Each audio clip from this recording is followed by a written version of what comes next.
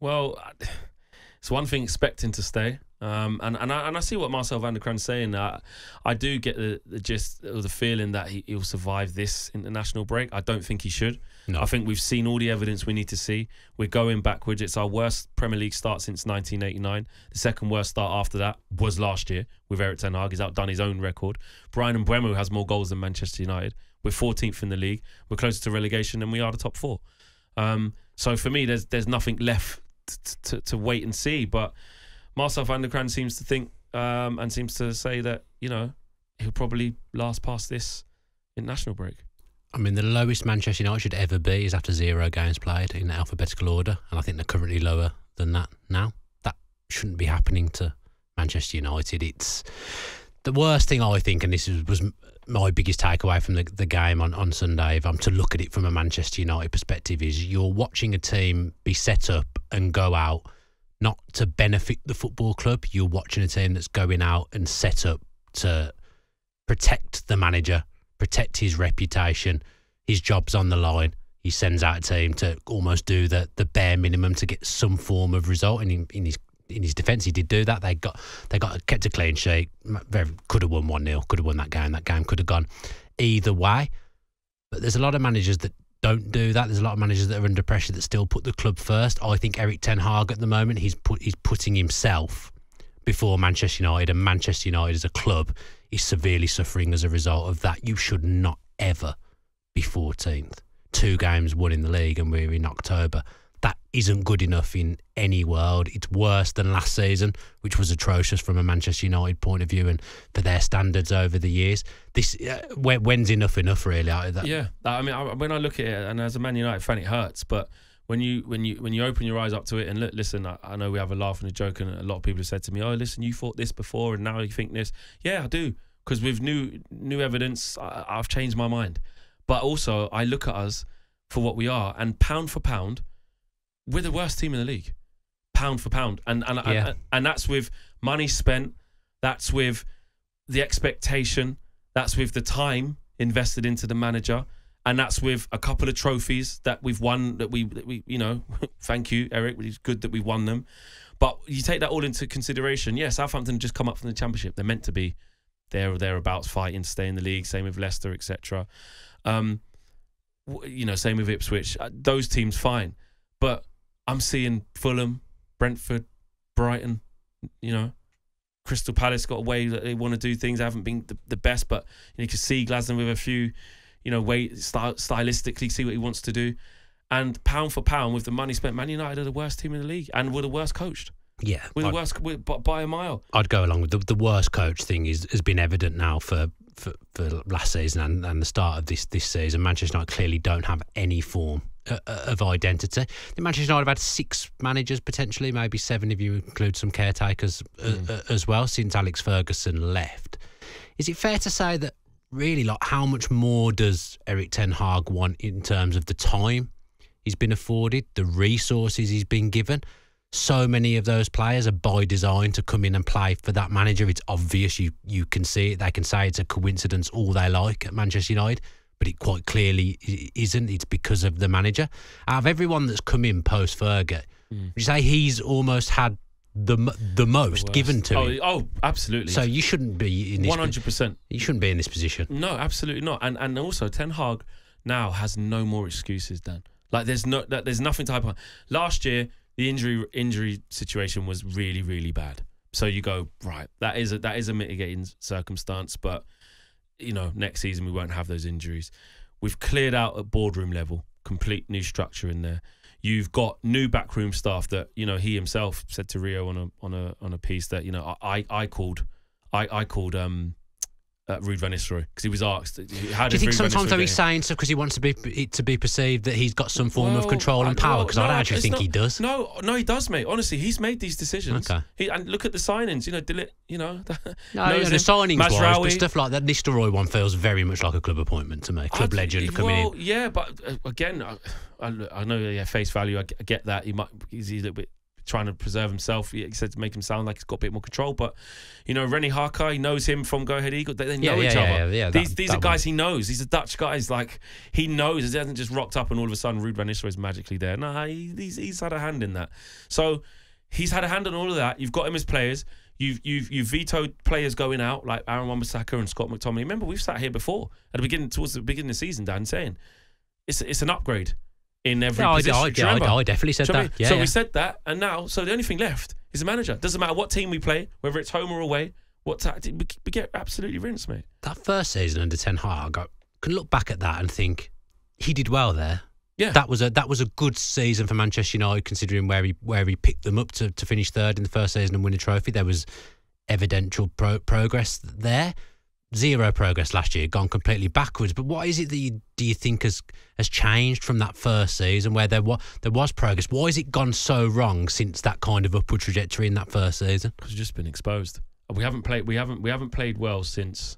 But why was it different in the first season? Well, do you know what it was? In the first season, there wasn't a lot of.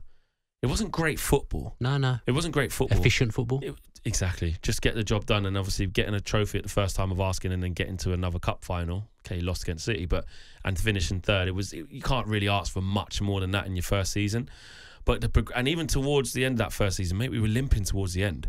Like Mm. it wasn't it wasn't great. That first season, mate, we, we took some absolute hammerings. We lost seven 0 to Liverpool in that first year. We lost four 0 to Brentford. Like Yeah. these this has been happening. So, but you take the positives, rightly so, in year one. And this is what I'm saying. He's been afforded the patience, and that's a positive. Third Carabao Cup, FA Cup final. Second season, worst ever Premier League finish, minus goal difference. Okay, the FA Cup is, is fantastic. It will live in the memories. Football's about winning trophies, but at what cost? There is no progression in the league. Man United are regressing. We're breaking every single negative metric out there. He's breaking it. There's there's nothing left. Uh, look, the business, ironically, we said is good, but out of Manchester United's team, who makes it into Aston Villa's eleven? I wouldn't want anyone. We want one, would you? No. Although the ir- ironic thing would be if some of these players were to join Villa, Unai Emery's coaching, he's 100%. he's a maker of men and he improves players, so they probably Im- It's a lot of players they would improve. The, the coaching is, is severely lacking at Manchester United. Ten Hag can dress it up any way he wants. The eye test watching Manchester United on the pitch, there's no patterns of play whatsoever. There's no kind of obvious system. In fairness, on Sunday there was an obvious system But preservation. then if you go to if exactly if you go to negative, withdrawn, you know, football that's not on the front foot. Again, self preservation, just trying to survive the chop. Then that's what you see. Four four two sit off. That's not his philosophy. That's not his philosophy. It's not how he wants to play. he bangs on about philosophy and when he first came he said I can't play the Yeah, way I that's want to play I don't have the don't have the players I mean how many players has he bought surely they surely they should be able to play that way by now with That's the I mean, amount of money he spent and the amount of players they We're- bought We're, fed up of the excuses. Uh, well, I, I speak for me. I'm fed up of the excuses. That- Antony came on at the weekend I forgot he existed and he's coming on ahead of Amad. He's been on. He's been isolated for ages. He spent all summer chasing Ugarte, which looked more like an Ineos signing than anything else. He comes in for a couple of games. Okay, the team didn't do well. He didn't do amazing, but he wasn't the worst. Haven't seen him in two games straight. What's Didn't- happening? didn't Christian Eriksen, the pitch the revival of Christian Eriksen. Like honestly, la- last year it looked like he was in summer. He'll be out for, for a couple of million. He's playing more games than anything. Casemiro hooked against Liverpool, you know, and and everyone's saying it's his fault. He's back in. He's playing. How, what's going on? no it's Do you know I not mean good. Martinez and de Ligt not in?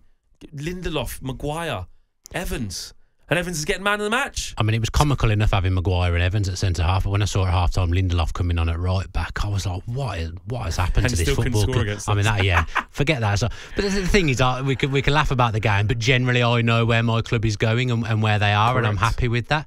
You don't know where your club is going, and you don't know what they are at the moment. And. I'm not happy. And you're not happy, which that shouldn't be the case for Manchester United. I mean, they've, No. They've given me nightmares growing to feather. Still give my team nightmares now because we can't beat them. But you know, thinking of of where Manchester United were, I could have never foreseen them ever being this bad. Ineos need to make the decision. They should have. Now. Made, why didn't they do it in the summer flex? I, I, and, I, and, and listen, maybe it's a bit hypocritical of me to say you're right. They should have because I wasn't behind it then. But in, in hindsight, yes, they should have. But the fact that we're here and now, though, the fact that you know Marcel van der Kraan saying, "Listen, you know, it probably stay a little bit longer. That they will see it as in, in a process, and you know, early this and early that." No, it's over, mate. It's finished. What are we waiting for? I'll tell you what we're waiting for. We're waiting to what? Play Chelsea at home And they come and sh- what are we doing? Waiting for the first game out in international break against Brentford, and Brentford scores after 26 seconds, like he does pretty much every game. What are we waiting? Are we waiting to? Are we waiting to go to Fenerbahce towards the end of October against Jose Mourinho and Fred and Amrabat and get embarrassed? Mate, there's nothing to like about Ten Hag's Manchester United, and there is nothing to get behind for Ten Hag's Manchester United. If if they don't pull the trigger soon, they're just going to waste another season. How many seasons have Manchester United wasted since Sir Alex Ferguson went? There's been the odd glimmer and the, you know the odd season of, of hope. There was one under Solskjaer, I think, where you finished second, and I think that was yeah. a. But even just saying that, finish second, that's a that's a good season. You're Manchester United. You're one of the biggest teams in, in world football, one of the biggest teams that there's, there's ever been. You're 14th in the Premier League, and you have not sacked your manager. Yeah. That can't happen. And that's what I mean. The standards are on the floor, and we- we- we're trying to be brought into this. You know, oh, pressing's a little bit better, or we've missed we've missed the most xG. We've got highest xG of big chance. I couldn't give a You, you can pull a mate. I positive stat from somewhere. honestly. I couldn't anything. care less, mate. We're closer to the relegation zone than we are anywhere else. That's all I care about. Manchester, like I said, Man United are 14th. I don't care about any of these metrics, and and that, you know it's unbeaten in this and that and the other. Spurs came and absolutely destroyed us. Liverpool came there and absolutely destroyed us. We lost against Brighton. Villa let us off the hook. Let's just be honest. Porto should we should have lost that. What And I, was that mate, and, I, and I was speaking to Porto fans before that game. They said, "Flex, listen, we're not good. You know, uh, Con- Conceicão's gone. You know, uh, the manager's gone. The manager's son's gone. You know, we're, we're a lot we're a lot different now. We're not the same team." And they found themselves three two up from two 0 down, mate, in the dying minutes of the game. So they don't fool me. They don't fool me. And Ineos need to just make that decision. And if they don't, they're just prolonging the inevitable. It's, It's gonna happen at some it's point, going to yeah. happen. And I just think these next seven games, we've got like seven games in three weeks. And in that run, you've got West Ham away, we've got Chelsea at home, Brentford at home, Leicester a couple of times between the Premier League and the Carabao Cup. You know, at Fenerbahce, uh, PAOK, I think, as well, like in a couple Europa League games. They're probably looking at them seven and saying, hmm, this is the one where you got to show something. And guess what? We'll be back in November international break having this exact same conversation. I'm sick and tired of it. On AM, on DAB, via the TalkSport app, and on your smart speaker. TalkSport.